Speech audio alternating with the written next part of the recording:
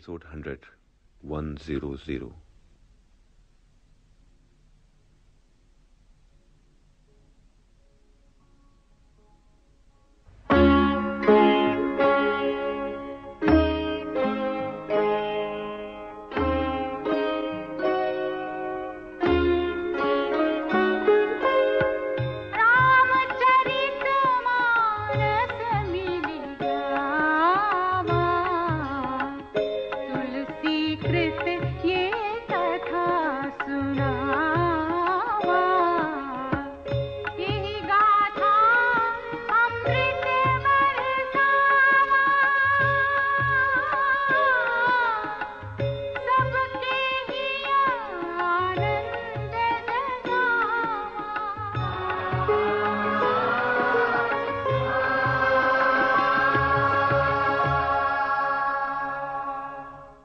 शिव के धनुष भंग और उसके ऊपर लक्ष्मण के कौतुक भरे वचन सुनकर परशुराम जी का क्रोध सीमा पार कर रहा है।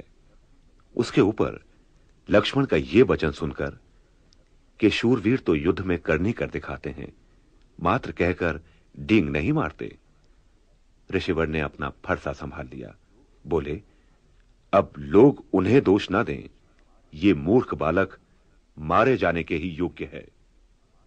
बात बढ़ते देख, मुनि विश्वामित्र ने अपने शिष्य के अपराध की क्षमा याचना की।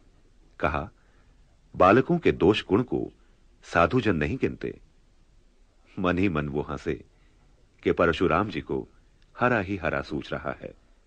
सर्वत्र विजयी होने के कारण वो राम लक्ष्मण को भी साधारण क्षत्रिय समझ रहे हैं। उन्हें कदाचित ये नहीं मालूम कि ये दो कुमार फौलाद की खांड हैं। ईक की खाण नहीं, जो मुँह में लेते ही गल जाए। परशुराम की धमकियों के प्रत्युत्तर में लक्ष्मण ने एक बार फिर कटाक्ष किया कि माता पिता के ऋण तो मुनिवर चुका ही चुके हैं। अब गुरु के ऋण से भी उऋण हो जाएँ, ब्याज भी बहुत बढ़ गया होगा। अब हिसाब करने के लिए यदि किसी को बुला लें तो वो थैली खोल दें। मुनि की क्रोधाग्नि में लक्ष्मण के वचन को आहुति समान जानकर श्री राम ने अनुज को शांत होने का इंगित किया।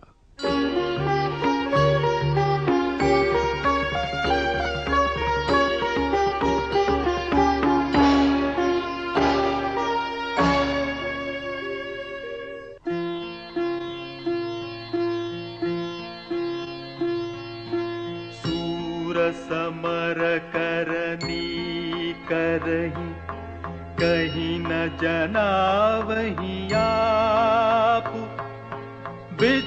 विद्यमान पाई कायर कथही प्रताप।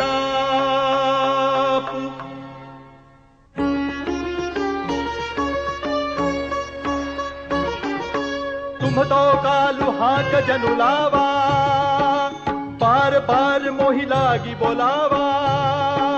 सुनत लखन के वचन कठोरा धरे गोरा। अब जन दे दोष मोहि लोगू। कटुबादी बालक बद जोगू। बाल बिलो की बहुत मैं बाचा।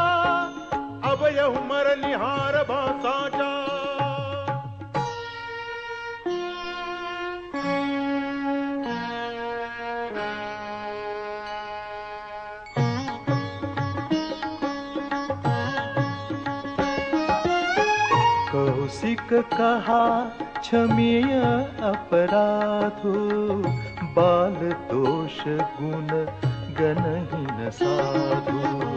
घर कुठार में अकरुण को ही आगे अपराधी गुरुद्रोही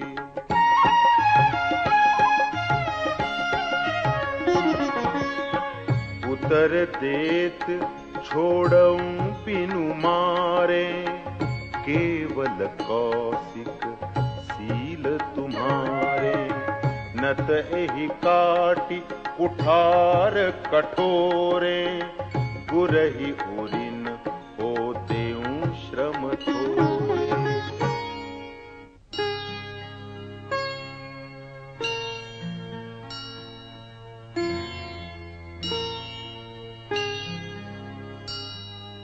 गाधि सूनु कह हृदय हसी मुनि हरियर सूझ अयमय खाणन ऊखमय। अजहू न अबूझ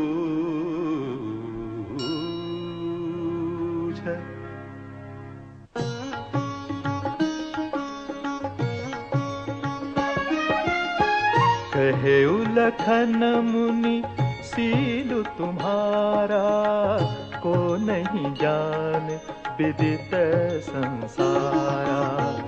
माता पितई उरिन भैनी के गुररिनु रहा सोचू बड़ जी के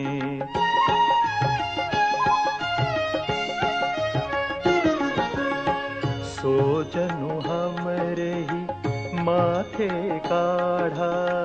दिन चली गए, ब्याज बड़ बाढ़ा।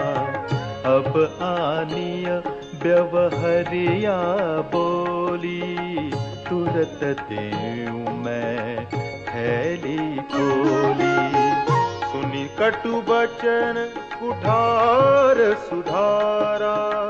हाय हाय सब सभा पुकारा। भृगुबर परसु देखा बहु विप्र विचारी बचऊ नृपद्रोही।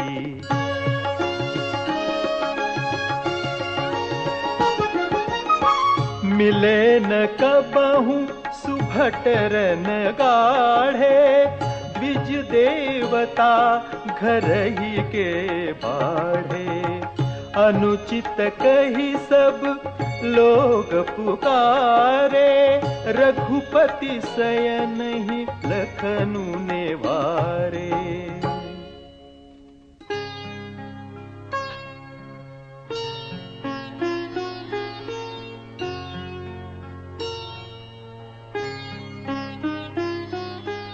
लखन उतर आहुति सरिस भृगुबर को पुकृसानु बढ़त देखी जल सम बचन बोले रघुकुल भानु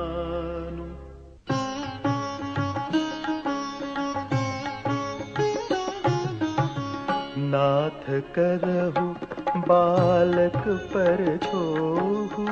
सूध दूध मुख करियन कोहु।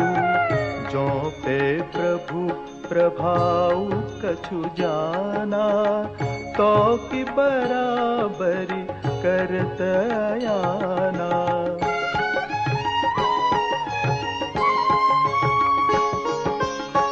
जौलरिका कछु अचगरि करही। गुर पितुमा तुमोद मन भरही।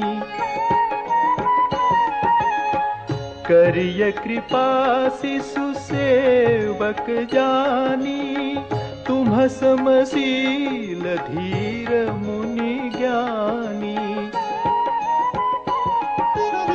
राम बचन सुनी कछु कजुड़ाने। कही कछु लखनु बहुरी मुस्काने। हसत देखी नख शिखरिस व्यापी। राम तोर भ्राता बड़ पापी।